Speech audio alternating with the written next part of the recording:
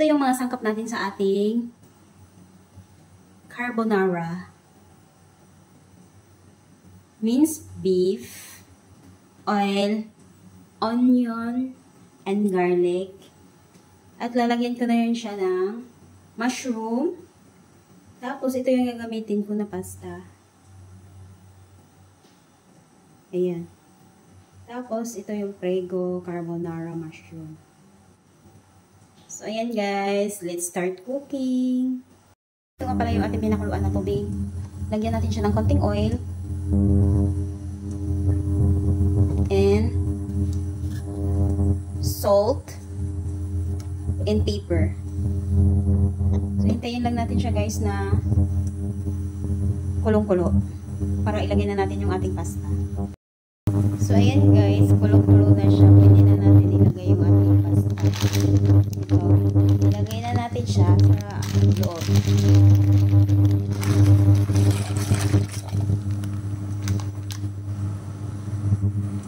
Hintayin lang natin siyang lumambot.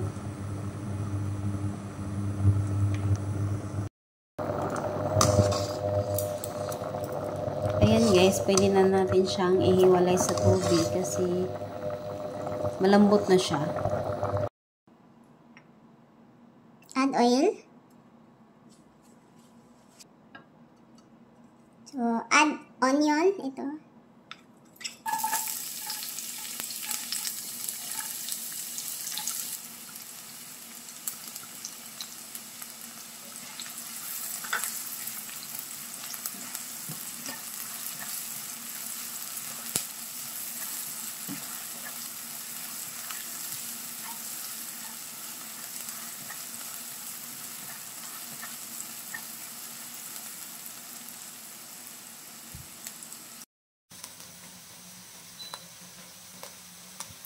Then, add natin yung garlic.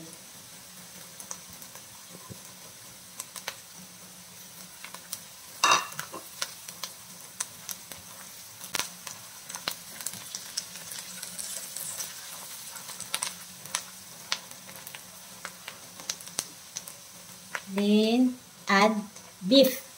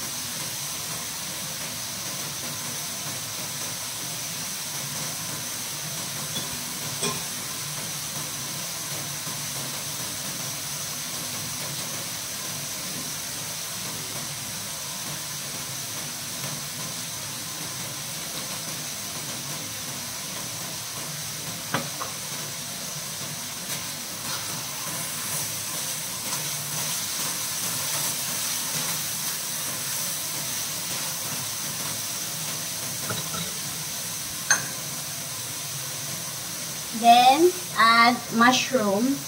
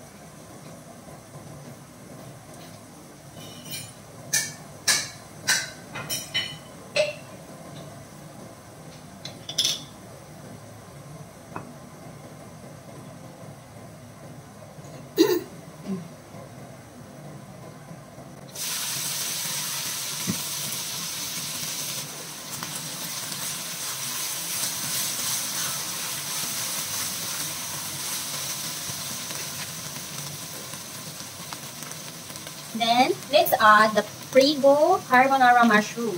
Ayan. So, ilagay na natin guys.